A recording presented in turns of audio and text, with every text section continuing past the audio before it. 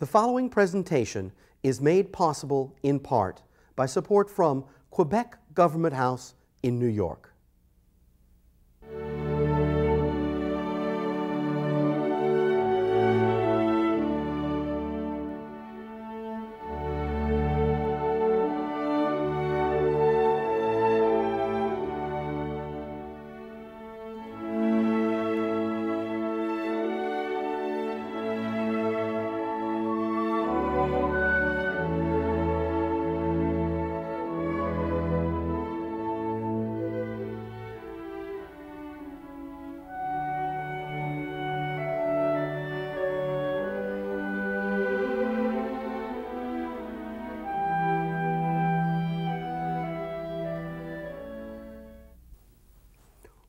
Welcome to City Cinematheque, where the art and pleasure of the movies are the subject of serious discussion.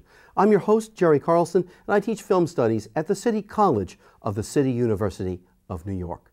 Today it's our pleasure to present the Quebec film called in English Streetheart and known in French as Le Coeur au Poing, directed by Charles Binamé.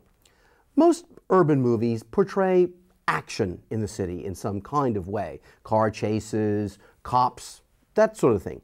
This is an unusual film that explores, in a certain sense, the dead time of the city. Now, this is not a film without drama by any means, but it's a film about how a young woman who has time on her hands chooses, by creating a game, how she might fill her time in the city. The city under consideration is Montreal, and it's a striking vision of that city and of perhaps our conditions in the late 20th and early 21st century.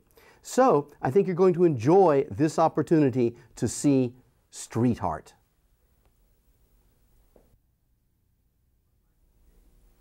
Welcome back to City Cinematheque. I hope you've enjoyed this rare opportunity to see a distinguished uh, contemporary film from Quebec, Le Coeur au Poing, or as it's known in English, Streetheart.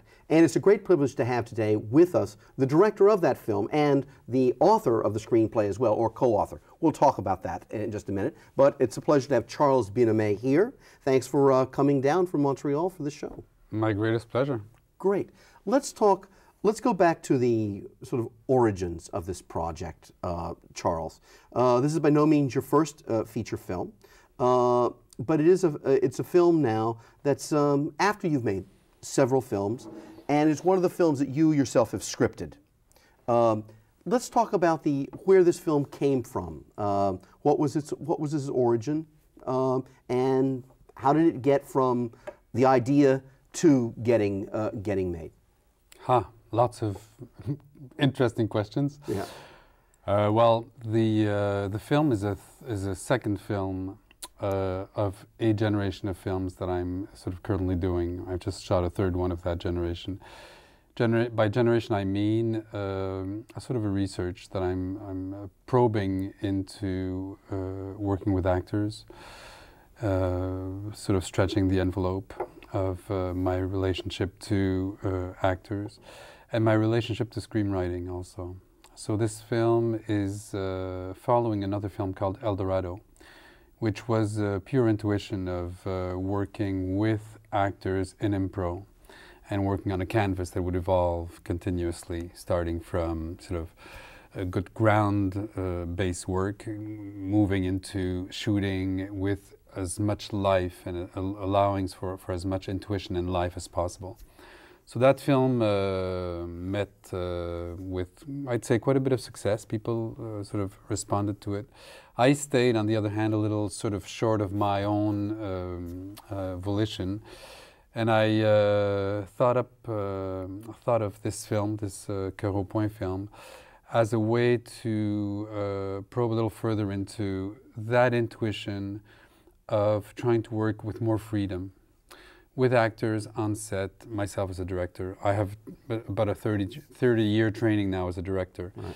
in different fields. I worked in television, I worked in uh, advertising, I, am still currently working in advertising, and I worked in television series. And one of the things that directors have the least, uh, aside from money, usually there's never enough, is time. And that uh, element of time is extremely frustrating on set. Everybody has time, the, the DOP has time to light, the actors have time to act, but as a director you have very little time to set up your uh, situations, your work with the actors, etc. So this was a way for me to say, okay, hold it. We're now responding to some kind of pattern, which is mega production, which costs mega bucks, which makes for very short days. So yes, you do have the 25 trucks of light uh, gear, uh, grip equipment, etc. But you have about three minutes to shoot your scene because now it's lunch break and you can't go overtime because uh, a huge crew of 80 uh, into 15 minute penalty is disgraceful. So uh, I thought, hey, I'm going to crew down. I'm going to uh, allow myself more time on set, more time for my own intuitions and to less work from a prior canvas. I'm trained to draw up all my storyboards. That's right. my training. I can take a story and cut it up. When I go into film series, a television series, there's 500 scenes which you spend. I spent three weeks locked up, uh, locking down. Here, and it's an it's an annoying process because you're sort of working from only one side of your brain. You're working from the rational side of your brain if this is written like that, this should happen like that. The actor should walk to the window and this and that, and I'm going to shoot it with a dolly up to there. Then we're going to cut to the reaction of. So all that I sort of threw away, and I I created a um, really a place for me to come in the morning and say, hey, okay, we have this scene. It's written because in the Coeur au Poing it was not improv, it was written. But how are we going to do this between us? There's about five or six of us crew, uh, handheld, no lighting, uh, direct sound, no uh, playing around with the sound afterwards.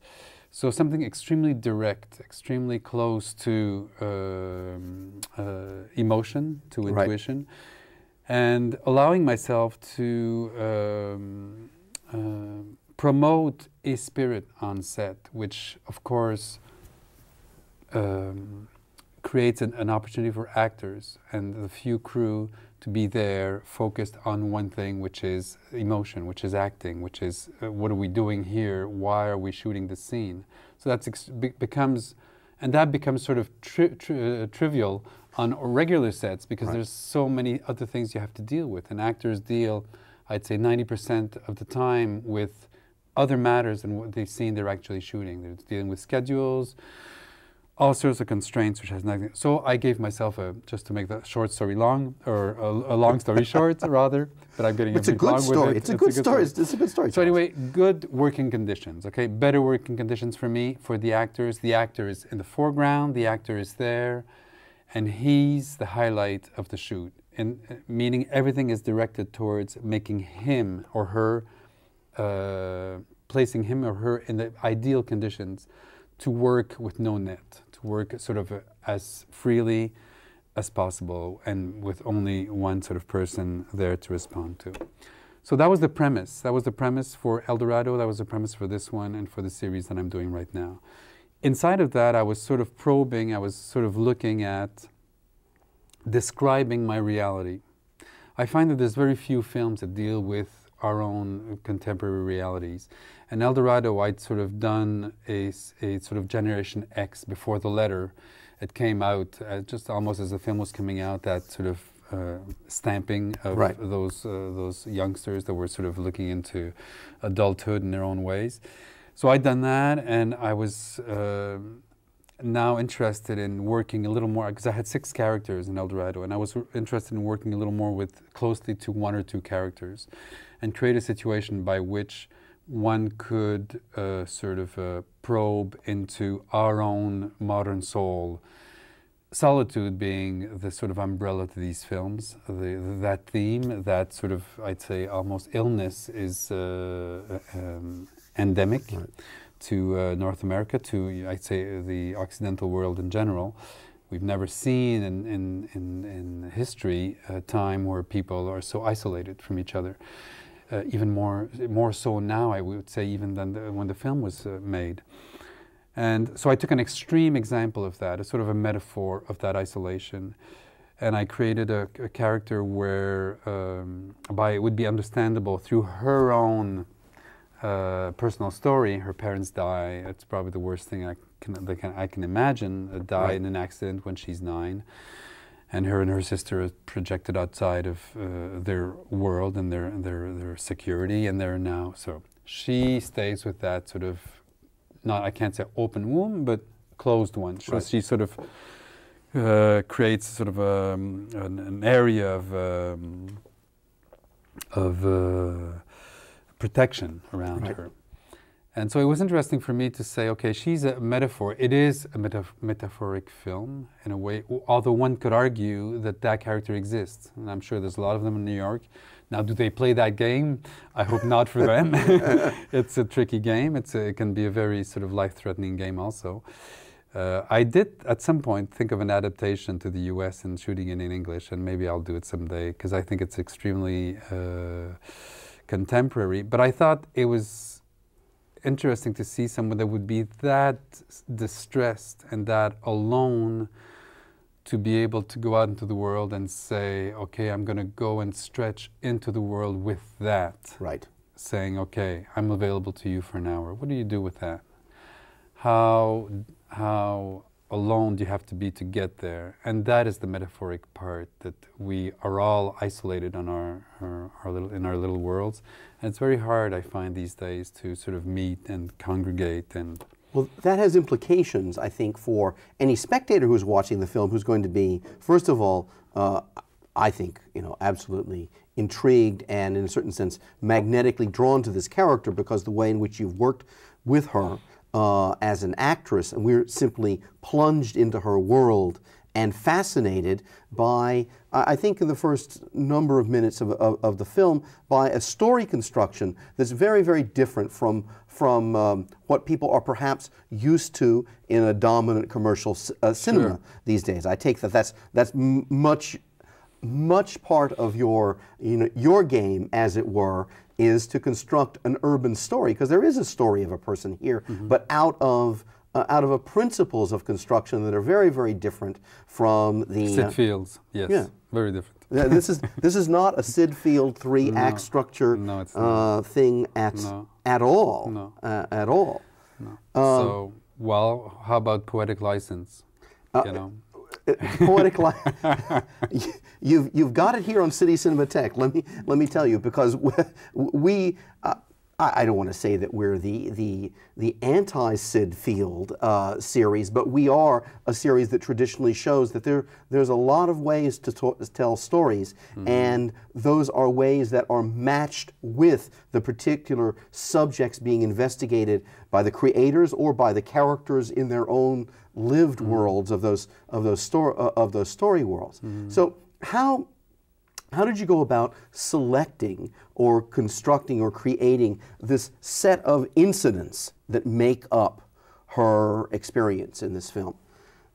Was, it, was that something that came out of improvisation at a point, or was that something that you you were working with another writer on this on, on, on the script? Tell us a little bit about that process and about her. Well, the the creative process in writing is always one that's very singular. It's always a one-time experience. Uh, I can't all the times that I've participated in writing, it's always very different. But um, in these cases, it always stems from me. I sort of work on an idea. I work into an idea. I, I sort of pull what I call pull on a string, and the string string either comes or the whoops. There's nothing. There's nothing. So forget it. You Yeah. draw. You start, start try another one. And yes, you have a some kind of success with one, you keep pulling at it, and you sort of draw um sort of a tentacular type uh, um, thing around it, and you start working with secondary characters, etc. So I did have a very good idea of what I wanted to do before I got started on this quest, in which I I um, interested. I got one author that I really like, Monique Proulx, who's a Montreal author who has a way of describing people in their realities that is extremely crude and true and poetic at the same time. And so I got her interested in the idea of working in tandem on the script. Now, it was a peculiar way of working because uh, in uh, the way that I work with the actors, I get them very involved right from the start. And when I say from the start, I sort of gave Pascale Montpetit the lead role, the general parameters of the role, but we did not have her sister in the portrait. Okay. We did not have. Uh, we had somebody that she she would be close to and that she could speak to because you can't have just somebody alone uh, Right. uh, running out running around the rea- running around reality. You need some kind of anchor here and there. So we did, we had someone that we we knew would happen. Then we work on a workshop basis whereby I work in improv with the actors on situations. And those impros last for about three months. you know. That's a very substantial period yes, of improv. it is. yeah. It's not three months every single day, Sure. but it's sort of every so on. And the author is there, present to those workshops. So, what do I do during those workshops? I work into the energy of the character. I work into exercises, all sorts of exercises that have to do with where the character comes from. The dead parents, that scene, when she learned that the parents had died. And we work into that. So I give her the, the sort of the substract, the, Right. the uh, elements that, will ha- that she will have to connect with and that she will have to call upon to get into the character. Then I call into I call other actors into the the workshop that have to do with the storytelling, and they work on themes that I give them, and we sort of slowly um, reveal. It's really a matter. It's really like being under a Durst um, um, when you do photo. You know. Yeah, you, yeah, yeah. you- you- Yeah, the- the, uh, to develop something. In Yeah. French. It's a. It's a. You put the negative in, and you get your positive in a bath. But it's very much like seeing the photo when Developing. developing when you see it in the bath you see it coming together and taking you know life sort of starting to um, impregnate the, the photograph so that's a, bit the way it happens and it's it's a it's a situation where I as a director have to hold something that's being created as it's coming out so you have to hold it in a way that it it remains contained, so Right. it doesn't just go in all you know uh, all directions, which could would just be chaos. So, but it's extremely interesting because you're actually witnessing a birth, but that you also have to harness very quickly, and which you have to um, choose, in which you have to choose elements. So that's uh, that's probably the best part of this uh, filmmaking. Now, when you have that, there's a script that the author, the Monique Proulx, because I don't write dialogue. So Monique Proulx from those workshops wrote dialogue, Okay. which we never really acted before the film because I don't want to touch those scenes. It's not a theater process. It's not a um, it's not a matter of saying, well, for 90 hours we rehearse these lines, we know how to say them. We have them, we look at them, we say them just to make sure they come easily, they're Right. natural. But on set, it's the first time that they're said. And on set, it's a very free flowing situation too, where the actors are put together. I sort of, uh, contrary to my habit and my uh, my uh, lean, because over the years you catch some some uh, some ways of working. Uh, I sort of say, okay, we can work this. Make sure you stay around this area, generally speaking, because the lighting is better, or the light coming through the windows, Right. because we don't light. And uh, I have a camera, and the lighting cameraman, uh, ca- cameraman has another one, and we know each other. And I have a 35 mil, and he has an 85 or a 125. We know which which lenses we hold, and we cover the scene, and we just go with whatever seems to want to go. And usually, the first takes are the best. Yeah.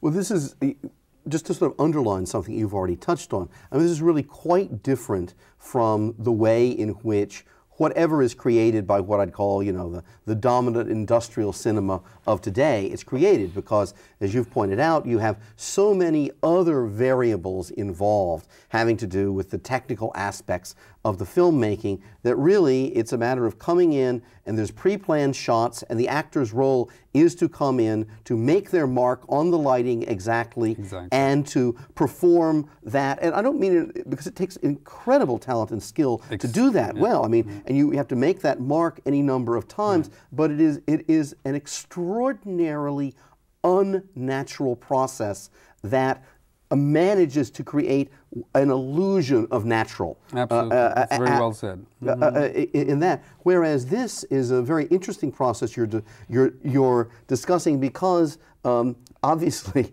I mean, you're, you're violating all kinds of, of rules. I mean, th- obviously, you've just made a very good film, so you can violate rules and make a lot of and make and make good films. But it's very interesting that the how to put it that the industrial mechanism sets up the rules, and people really get very scared mm-hmm. of, of, of, of breaking them because they because you know well, gee, you know, what's your what's your lighting scheme here? Mm-hmm. How are you how are you working with that?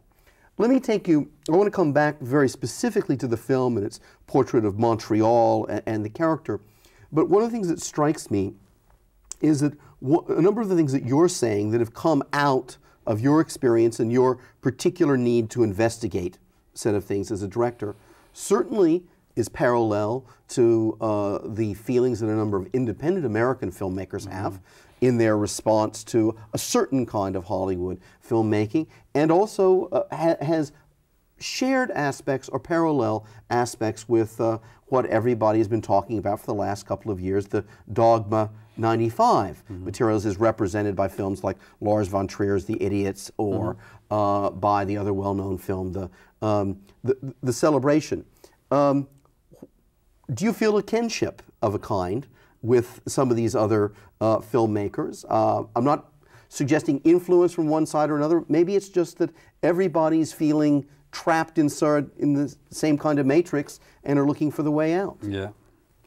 I mean, um, when uh, penicillin was discovered, it was it was a couple of guys that were going to discover it at the same time, right? Right. So it is a sort of a we're all products of our own uh, cultural environments, and um yes, there is the uh, there is a, a wave in a certain way. I mean, although you know what I'm talking about here is nothing new. Well- New Wave did it way before us. Right. Uh, the studios came back forcefully. Uh, there's another effort to sort of be a little more, uh, a little looser. I saw a film. I, I was jury to a festival in Montreal uh, not long uh, while back. I saw a film from New York from a filmmaker, a filmmaker called uh, Amos. Kollek. Uh, uh, We, we discussed yes, this. we discussed that. I'm, I can't get his family name. Kollek. Uh, Kollek, Amos Kollek. All right. And uh, it was a film shot in New York, and it was very much akin, very much, um, uh, very close actually to the premises that I worked with. And I'm sure he worked with his actors in the same fashion because the result was somewhat the same. Uh, but I do have to make a parenthesis here for uh, the, the dogma business Right, because I understand. uh, the dogma business is a whole other story altogether, and I and I have to say that I'm I'm very reluctant to that format. I think it's very dishonest, a dishonest way of uh, uh, making films, in the way that. Um, there is a premise where you entrap people into something they're not aware of. And you can all it's very easy to make fun of people and to uh, set up things that are artificial and to entrap people. It's very simple with a camera. But um, I sort of uh, I don't like this I don't I, I really don't like the the uh, the the, uh, the spirit behind that because for just for what I've said, but also for the fact that they do have to write a whole thing with commandments, etc. It's sort of for me, it's more a um, commercial in a way, or uh, in, in, in wanting to be anti-commercial, but it's a very commercial way to sell your films. Well, it's all- I have to disagree. No, I, I'm, I'm going to agree with your disagreement uh, because it is uh, what we say in American English. It's a bit of a marketing hook, and I have to say that as somebody who who uh, enjoys the diversity of subjects and styles that filmmakers around the world use for that, I, I'm on on those grounds. I'm against anything that calls itself a dogma, and I must say that perhaps just as a sensibility or human being, I'm against dogmas as well. So no matter what works I see of virtue having come out of that, um, I'm much, uh, I, I- I'm much happier to hear about a process that's exploratory, hmm. like the one that you're talking hmm. about, instead of one which is actually prescriptive in the way in which the dog, a dogma by its nature prescribes that you have to do, and- instead of instead of discovering. Yeah, and as you say, it's ironical that they should call it dogma and, and being so anti-dogmatic, you know, the, in their intention in any case, which it's not. Right, right. Let's talk about a little bit about. Uh, I, I think this is a film, the one we've just seen, that anybody who knows North American or Western European modernity can connect with. That sense of solitude that you're uh, ex- ex- exploring. Uh, I mean, I certainly New Yorkers can connect with it. I, I'll even be autobiographical and say, as growing up uh, in uh, the new cities, I grew up in one of the new cities in the United States, Dallas. I mean, the, the sense of the distance between the prosperity being created and the solitude that mm -hmm. came with it um, uh, was, was tremendous mm -hmm. and not reflected in much of the discourse of, mm -hmm. the, uh, of the culture. But so if, if, there's that general thing that's shared, let's talk about this uh, specifically as a, as a Quebec film. Why? Uh, what, what sort of features do you think um, pertain or really are about uh, the Montreal of the, uh, of the you know, 90s and early 21st century? Um, or is it? Well, in a way, the backdrop. Yeah. But I would say that the story is very universal in terms of you know the the, the Western world. Uh, it could have been shot in Prague and, and, and Dallas, or yeah. you know, I don't see why not.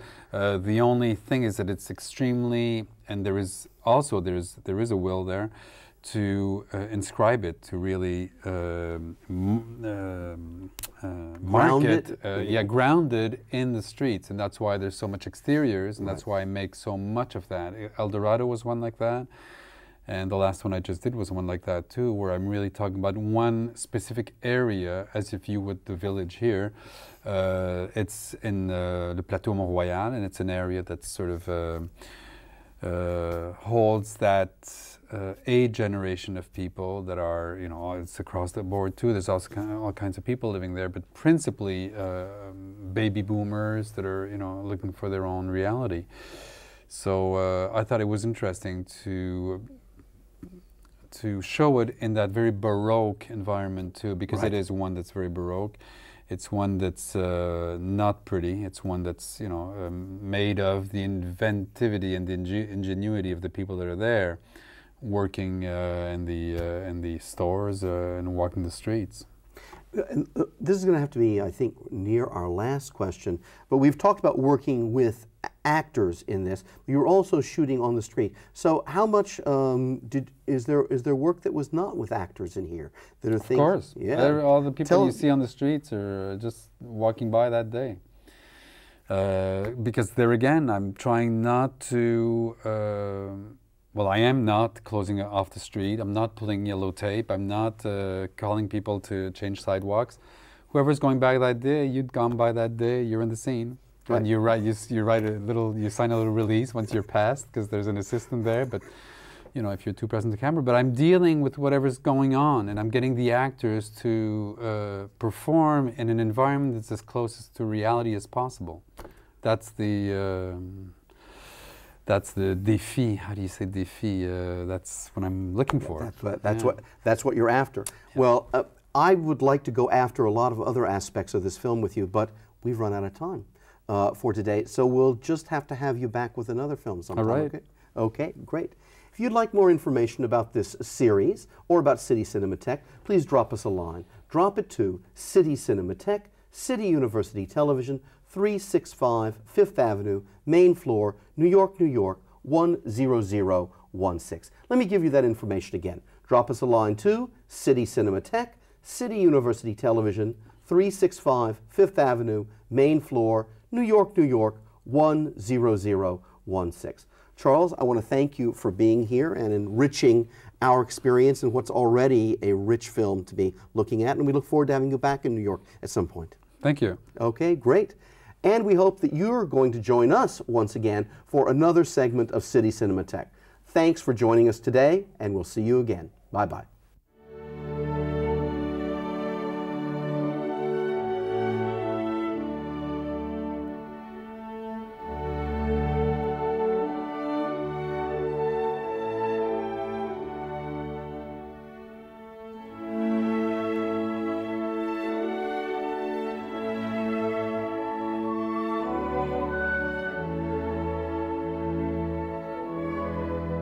Preceding presentation of City Cinematheque was made possible in part by support from Quebec Government House in New York.